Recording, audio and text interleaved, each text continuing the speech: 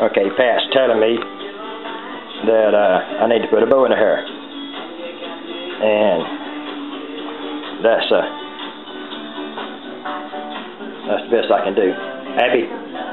Yeah, well she's cute though. she's cute, yeah she is.